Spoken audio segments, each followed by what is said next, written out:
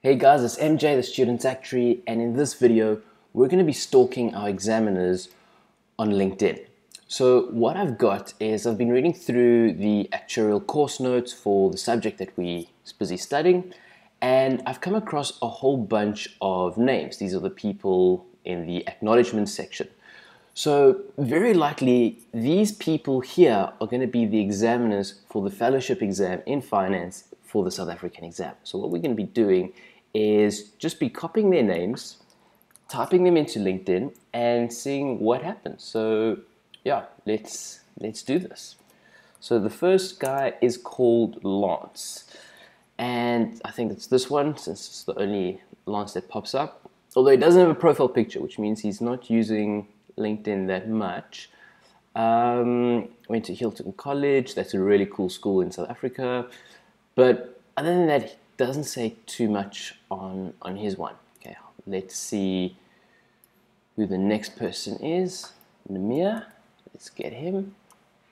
And let's see what Namir. I think it's this one. 50, 50 shared connections. Director and Chief Financial Officer, Actuary, CFA, oh, also into to Wits University.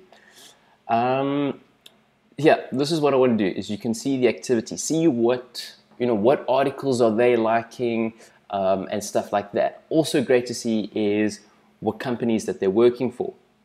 So the sale group, I actually don't know the sale group, although sale provides debt and equity finance for mining projects. Now that's interesting because in the actuarial course notes it says you need to understand the finances of mines and specifically mining rehabilitation funds and there was a past paper question where you had to value a mine because the trustees of a pension fund wanted to buy the mine that wasn't working so well and you had to figure out whether they should do it or shouldn't do it. And it was quite a heavy question. It was for quite a lot of marks. So I'm probably betting my, yeah, I'd probably bet that that this was the, the guy who set that exam question around the mine. So that is really cool. And then yeah, it's always good to come and you know see what activity that they're doing. Has he only like he's only like one thing, fund manager at Lorem. So yeah, it would be good to to watch that um, type of thing. Let's see what other actuaries we have. I don't think all actuaries are using LinkedIn. Um, I think it's yeah. I don't I don't think everybody's got LinkedIn. Although yeah, I think this is the one. We've got three connections in common. Um, also, University of Witwatersrand. Uh, so you can know that that is the best university for studying actuarial science anywhere in the world. Um, you both studied at University of Wits, uh, Channel Dynamics. Don't know that company. Uh, BSc honors. And okay, yeah, it's also quite cool to come and see, you know, what are their skills? Strategic planning, business strategy, new business development. We can view the other ones. Um, social media marketing that is interesting. Um, might get an exam question around social media. Don't know how how that would fit in. Okay, nothing too too many clues over there. Uh, let's see, Mark.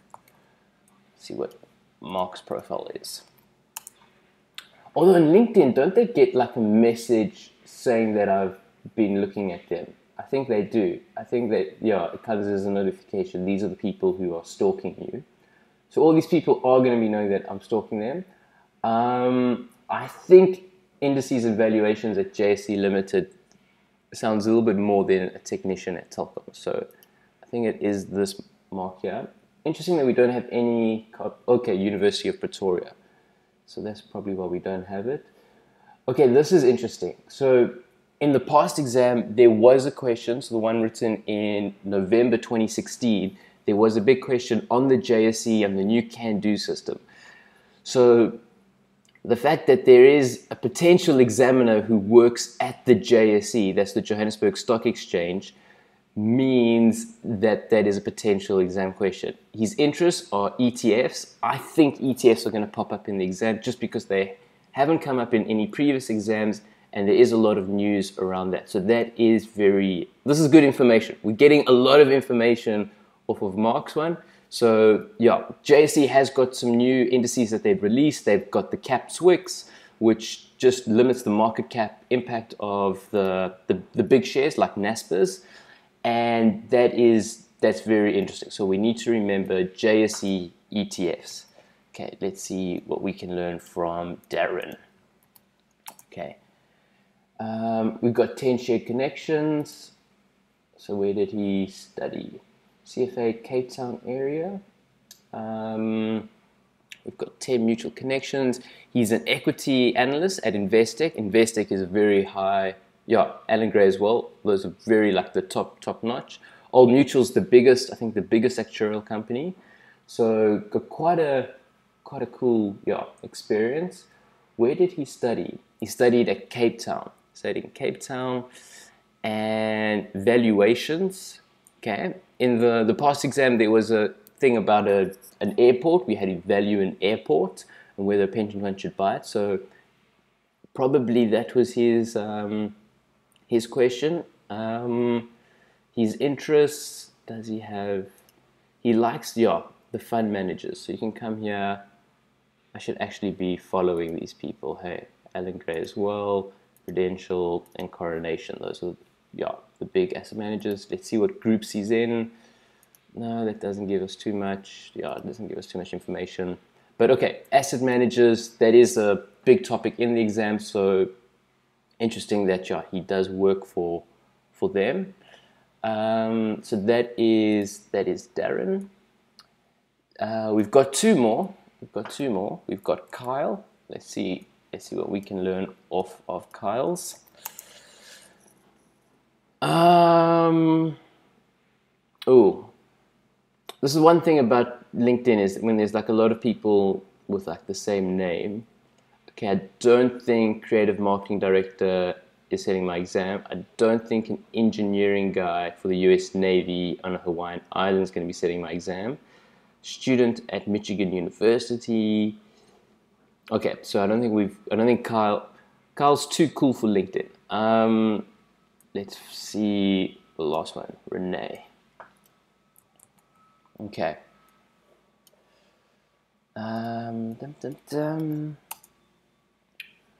Renee, there we go, two shared connections, although we've also got this one here, customer service or fixed income analyst. I think the fixed income analyst is more likely to be our, our actuarial friend.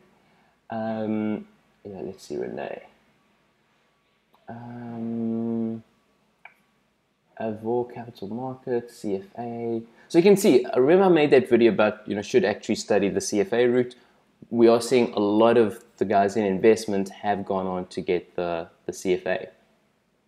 But the fact that he's a fixed income analyst and dealer, he's been working there for one year, which means it's still a fresh job. We might be seeing a question around fixed income. Um, th- those are like bonds, index linked bonds. Also, bonds have hit quite a bit of turbulence this year with the whole downgrading and junk status and everyone going, oh, crazy, crazy. So that that is quite that is yeah that does give us some information. Uh, he's a qualified actuary, the faculty of actuary, so that's with the UK. Went to Stellenbosch, another very good university here in South Africa. Portfolio management, but there fixed income. That that does give us some information. Um, I mean, if we click on what happens when you go to one of these things on LinkedIn, um, six people from your school were hired here. I have 56 employees. That's not too bad. Does it tell you like who the people are? Um, we are an independent equity research firm in South Africa that provides innovative and insightful research on selected JSE listed companies. No, wait, wait. This is not. Oh no, if they're doing on equity, why did he say fixed income? They show more. Oh, derivatives and fixed income. Okay, so he's part of that. Ooh, and it's part of the derivatives. Der- they love asking about derivatives. Derivatives always comes up in, in every exam. Corporate finance, trade and execution, it's in Sandton, and and then you know, I mean, like another thing that you can do is you can then go to these. Let's open this in a new tab you can then go to their websites and read their blogs. So I read through the Colourfield blogs. Remember, I made that video earlier, and there was some really great stuff. So yeah, you want to go to insights, um, articles, and just read this stuff. This stuff is really this is really good stuff to read. Um, if you're bored, no, it's good. It's good studying to to go through here. Listed property. That is actually another topic that I think might pop up in the exam because the JSE has changed the indices around listed property, so it is very topical as well. So that's what you do want to do for the exam. You want to know what's happening in the world because they do tend to ask on questions that are you know relevant and, and newsworthy. But there we go. I mean, guys, feel free to to add me on LinkedIn. Um, I'll put a little link of my profile thing, so you can just click on it, and then you can add me, and then you can always, I think, see who's in my connection. You can see other actuaries. You can stalk them, and but you must be very careful. I think I think you can, you know, the internet is a, a bit of a thief of time, so you can get a little bit too in depth in LinkedIn, and then you're like, oh my gosh, I've wasted an entire hour just scrolling through this random news feed and reading weird and wonderful articles. But I think there we go. We've we've learned some important stuff. I think the JSE. I am. It's just yeah. The last year's exam paper asked about the JSE, so I don't know if they're going to repeat that topic again, especially when there are so many topics. Um, but the fact that it has been in the news a lot, and we do have an examiner that works for it, it does make a lot of sense just to get a good grips and understanding of it anyway. But anyway, thanks guys so much for watching this video and feel free to ask a question in the comment section below and to yeah add me add me to your linkedin network. Thanks guys. Cheers